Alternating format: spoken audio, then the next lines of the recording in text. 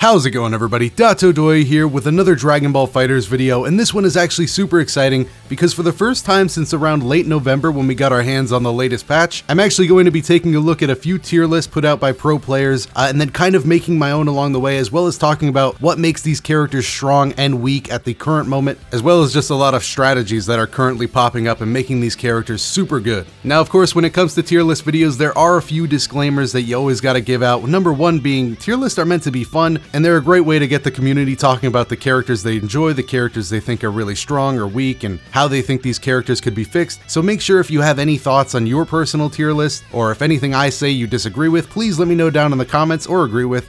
Whatever you want to do, uh, just, you know, let me know what you think of these characters. And the other disclaimer is that even though we will be looking at top players tier lists when we're talking about this video, I am by no means a top player myself. So when I talk about their list, I will make sure to try and look at what they specifically said about characters they listed and where we can't find information like that, I will tend to stay away from making any assumptions about why they put that character there, and instead we'll just make my case for why I think that specific character is strong or weak. And with all that out of the way, now we can finally jump into the actual meat of this video. So the two tier lists we'll be looking at today come from us from Korean Wrestling Man, who is a very good 18 player, uh, and Knowkami, who you may remember from his amazing Goku Black comeback, and is also just a very good player at this game in general. So we won't have these two tier lists up for that long, but I just wanted to give two examples to compare and contrast two people who have wildly different experiences playing this game uh, and see some of the similarities between the two. So let's start by taking a look at the low tier. Now, as you can see, two characters that really stick out are Krillin and Android 17. Android 17 didn't even make it on the tier list at the end of the day in Knowkami's version, only getting a small little mention in the text box. But why is that? Why are these two characters considered low tier by practically almost everybody that plays this game? Well, at the end of the day, it comes down to their bad normals and all around bad assists. Let's talk about Android 17 first because I personally view him as Krillin, but a lot, a lot worse. So, Android 17 has no beam, he can't control the neutral, and one way they really wanted you to get around was through your Rekkas, but the Rekkas don't create true block strings, it's very easy to punish Android 17 for almost anything he tries to do, and on top of all of that, Android 17 just gets eaten alive by Super Dash. If you try to jump to a wall, you'll get hit by a Super Dash. If you throw out a couple bad buttons neutral, you'll get hit by a Super Dash and into a combo. Uh, Android 17 just has a really hard time playing the game at all. Now, I've talked about it in the past, but I think a way they could help Android 17 with these issues uh, is just making him less rigid, give him more options to cancel out of stuff faster, be a bit more sporadic so that it wouldn't be so easy for the opponent to just shut him down. Uh, and maybe give the guy a few block strings as well. Uh, all of that would help, but at the end of the day, bad normals, bad neutral. In Dragon Ball FighterZ, those are going to be real issues for you. Taking a look at Krillin, he actually has a really great beam, which is why I feel he's better than Android 17, but still suffers from the lack of good assist. Having Senzu beans has really turned out to not be the greatest thing in the game. At the end of the day, if you really want to get back blue health, why not just switch out your characters or use an early game sparking uh, and just play three very good characters that all bring great assists to the team instead of having to make adjustments and run Krillin instead. Uh, his rocks just don't do enough for him back there, and his Senzu beans certainly does not do enough to make up for it. That being said, when comparing him to Android 17, Krillin has a lot more potential in his combo games and his beam is just that good. Of course, it still has its problems with the recovery, but still very much an improvement over 17. And this seems like a good time to switch purely back to Knowkami's tier list because he had an entire stream going through each and every character while putting them on his tier list, giving his thoughts and opinions while listening to the chat. If you want to check that out, all the links to do so will be down in the description. He also said he was going to put it on YouTube, uh, but I checked his channel, it didn't seem to be up quite yet, but if he does add that, that link will be down there as well. Now, because he did talk about every character at such length, there's really no point for me to do the same thing because he's already done it and better. So let's try to keep this video nice and short, but also generalizing the information. So when it comes to low tier, like Krillin and Android 17, you're going to find that these characters have a hard time doing anything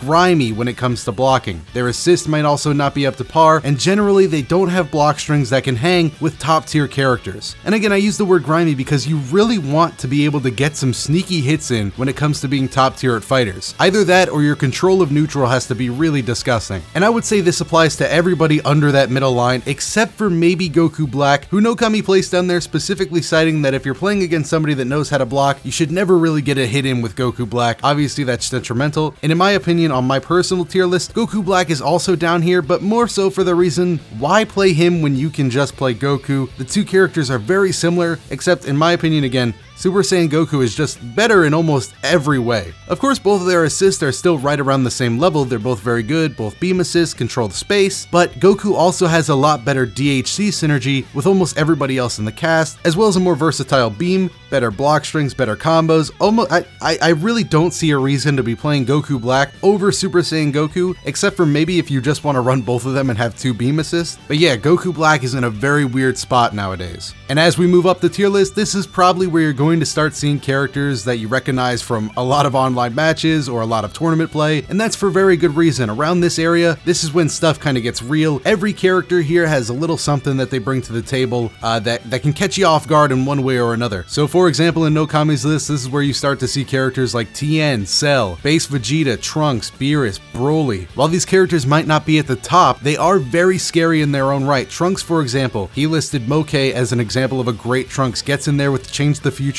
takes up a lot of space, uh, and really holds down neutral and beats a lot of characters just outright. He also mentioned how Base Vegeta has a lot of good things in neutral, such as his knee, acting as almost like a pseudo pre-patch uh, Bardock Rebellion Spear. So yeah, characters in this portion of the tier list are generally very good and actually have some really disgusting stuff uh, if you go looking for it. This portion of the tier list is also coincidentally where you'll find some of the best assistant fighters. Yamcha, of course, is somebody that barely needs an introduction at this point. Kazunoko has shown that this assist is really, really deadly. Super Dash plus Yamcha assist is time proven. Uh, just, just holding him down. Uh, Super Saiyan Goku, again, we talked about him with Goku Black. Beam assist, DHC, all of it. Super Saiyan Vegeta also here, also still making a name for himself uh, with his great neutral and his great anchor abilities, and his assist is still super, super good. And now we've reached the most exciting part of any tier list, that being the top, top tier. And before we get into any character specifically, I do feel the need to mention the direction that the current FighterZ meta is going in. In case anybody watching this video isn't currently aware, a super popular strategy is to just keep snapping your opponent back out because it leaves them super defenseless. All they can do is block, they can't guard cancel, they can't call in any assists, they can't tag out. They just have to sit there and either block or get opened up right away, which isn't preferred because then you'll just get snapped back out. Let's take a look at this clip from Korean Wrestling Man playing some Android 18 on Twitch. You will see that even though he can kill or get sliding knockdown, he just chooses to keep doing the same rotation over and over again because it's forcing his opponent to just have to block it. And obviously you don't want to block against 18, so he keeps getting opened up and snapped out. You can see here, he can even kill this character if he wants to, but what's the rush? Why not just snap him out too,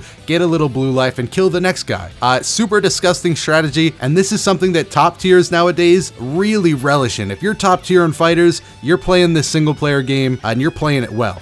So yes, characters that have an easier time doing that are going to be a bit higher up on the tier list. Android 18 is a character that I think is very high tier because of this. Of course, bad support still, you're going to see him on the left side, but you can't underestimate just how good that is. Uh, this isn't the case for every character, obviously. We still have some old classics. Android 16, Bardock, Adult Gohan. These are characters that are top tier because they have great buttons, great normals, great combos. Uh, pretty much everything you want in a top tier still to this day. Great level 3s. Android 16 not so much, but he's still up there. One character that you might be surprised to see up here is Hit, and Hit is actually making a huge comeback in FighterZ uh, because Sonic Fox picked him back up again, and um, Knowkami actually specifically said that Hit is crazy because his 5M is basically just Lariat, and I agree. I was I was watching through some newer Sonic Fox matches on YouTube just to see uh, why he's going back to Hit, and it's actually kind of insane. I don't remember this move being that great, but he's converting off of combos that no other character rightfully should have any reason to. In neutral, he's just throwing it out and getting random hits on his opponent uh, and it's disgusting, really. Hit is looking super good. Uh, he still suffers from not having that fast of a low, but he has a command grab, so it's not like he doesn't have any mix-ups. Uh, so yes, Hit is a character that surprisingly very high tier nowadays. But let's go ahead, cut the chit chat. We get it. Hit's cool, whatever. Bardock is whatever. Who's the best character in the game? Uh, and to me, and on Knowkami's tier list as well, it's gotta be Piccolo. This character is insane.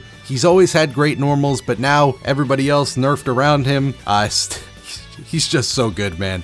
Uh, his hell zone in the corner, the snapback, the mix-ups, the the fuzzy. It's, it's so stupid. His Hell Zone grenade in the corner is just actually super stupid. He'll snap an opponent out, use Hell Zone, mix them up, snap them out again, use Hell Zone, or he can just keep attacking them if he wants to. All while, again, I'm repeating myself, all while having a great set of buttons and normals he can throw out at any time, and a Reality Stone-like move he can throw out in neutral. Uh, this is a character that you really don't want to sleep on, uh, and certainly I don't think anybody's sleeping on him anymore, but if you still are, you better set your alarm. Piccolo is here to stay for at least a little while. Gotenks is also a great follow-up. Ghost Oki is still very, very stupid stuff. For those that don't know, he just backdashes out of the corner, sets up Ghost, you're pretty much forced to block, and then you just basically rinse and repeat until your characters are dead. Piccolo and Gotenks are both characters that if they hit you in the corner, you're probably not going to be playing the game, or at least anything resembling the game you thought you knew, for at least a little while. So yes, that's pretty much the tier list for Knowkami. A lot of other top players commented on the Twitter feed uh, with little disagreements, but for the most part, it seems like everybody kind of agreed with the overall theme of this. I definitely am one of the people that think this tier list is super reasonable uh, with my own little changes that I'd like to make. So this is what my tier list would probably look like. Again, you can you can see the plagiarism on the walls with this one. Uh, but but again, I just thought his tier list was super good. We got Android 17 down here on the bottom left corner for me. Uh, I tied Krillin and Vegeta Blue, with uh, base Goku being a little worse on support than Kami listed him. And other major differences include just Blue Goku being a little higher up. I think he might actually have a case for maybe being a little better than base Vegeta, but I wasn't too sure on it. Trunks I also moved over to the right, Ginyu as well. Hit I moved up. I basically scrunched everything down uh, and just moved around characters where I thought uh, I disagreed with him a little bit. But overall, it's pretty much the same list, so kind of stupid, but there's not much to talk about with my own tier list. But I think that pretty much concludes this tier list video. Again, make sure to go check out Korean Wrestling Man on Twitch, as well as Knowkami on Twitch. I linked the specific VOD where he goes over every character in detail, so you can make sure to check that out as well. If you want an in-depth analysis on why each character like Majin Buu is up there, or even why somebody like Cell has kind of fallen off. You can also check out his Twitter, which I will link below as well. And again, make sure to go down in the comments and let me know what your personal tier list would look like. If you follow me on Twitter, you can even at me with it over there with a screenshot or something. While you're down in the comments, also make sure to leave a like and subscribe to the channel if you enjoy these types of videos so that you never miss out on a new one. I also have some videos of me actually playing this game up on your screen right now that you can feel free to check out if you're interested. Other than that though, I'm Dotodoya, hope you enjoyed the video, and I'll see you in the next one.